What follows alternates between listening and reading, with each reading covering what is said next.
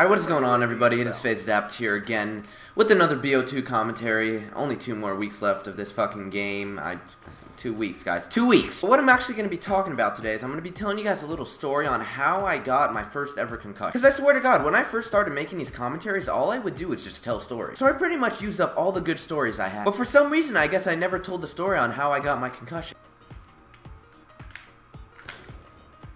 What?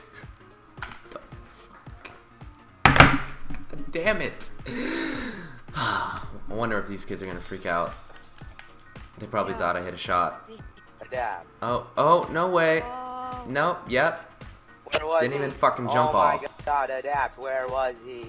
Where was he? Uh, on. Correct. So I guess I'm just gonna get right into the story. It was sixth grade. I was still living in Pennsylvania, and every day at lunch, me and my friends would always go out to the playground, and we'd fuck around on the playground and do flips and do all this shit on the monkey bars, and we all thought we were badass. We would like jump off the top of the playset, get on the monkey bars, do all these flips off the swings and shit. We thought we were so cool. And we had this one aide that watched us every day at lunch, and her name was fucking Betty. Her name was Betty, and I'm not trying to offend anyone out there that knows anyone named Betty, but that is just like the most stereotypical old person name. Like, like if I when I think of the word Betty, I think of an old lady. Like, I'm, I'm sorry, that's just what I think. So every day when we would go out to the playground and we do all this shit on the play set and off the swings and all these flips and everything, Betty would always have to tell us to stop and like she'd ha- she we like looked at her as like an evil, horrible person, like a Grinch. But in reality, she was just doing her job. We just didn't see that because we were little sixth graders. So yeah, we all fucking hated Betty, and we'd always try to think of clever ways to distract Betty or to get her to turn her back or to get her to look away and this and that. What the fuck is this guy doing? Okay. And I fuck I hit I hit marker the AFK guy. God damn it. Here, maybe second time's a charm. Maybe I'll tag this time. I'm the best, bitch. I'm the best. That was like the worst shot ever, but I hit markered him and then I tagged him. You see this? I thought I thought that was pretty cool. Come on, you got to give that to me. Look at that. Look at that. Let's go. Let's go, bitch.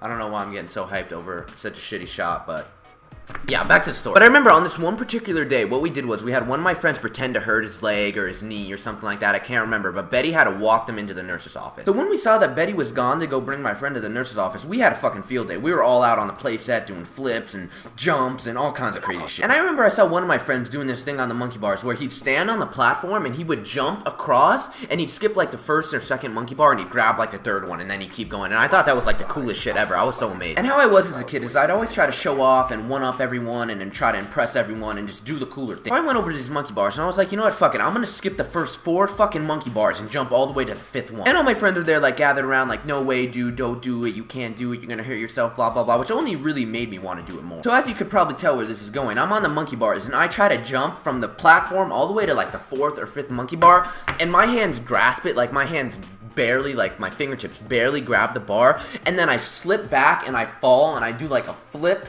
almost, and I fucking bash the back of my head right on the top. Yep, I was fucking out cold. I was done. I was gone. I was a goner. I still remember I was so close. My hands barely grabbed the monkey bar, and then gravity fucking did its thing and flipped me over and gave me a goddamn concussion. Then after that, I got rushed to the ER, and I had to go through a bunch of CAT scans, and they found out I had a concussion, and you know. And I'm pretty sure Betty got in like a fuck ton of trouble for that because she brought some uninjured kid to the nurse, and while she was gone, some kid got a concussion on the fucking playground. So I'm sorry, Betty, if you're watching this. I was a horrible kid. I don't know. I'm sorry. I apologize. Usually when I tell stories like this, I like to have a little moral of the story. So I guess moral of the story would be don't be a dumbass and try to jump across the playground just to try to impress everyone because you can't do it. You can't jump from the platform to the fifth monkey bar. It's not it's not humanly possible for a sixth grader. So yeah, don't be a dumbass. That's always a good moral to have. Anyways, guys, I hope you all enjoyed this story. Make sure to leave a like if you did. I did have a shitty shot in here. I thought it was cool, though, because I, like, hit markered him, and then I tagged him, and I hit it next try. But whatever, it was still a garbage shot. Anyways, hope you guys enjoyed the video. Make sure to leave a like if you do. This has been FaZe Adapt, or Alex. I'll see you guys later. Peace out. This is a wrap, bitch.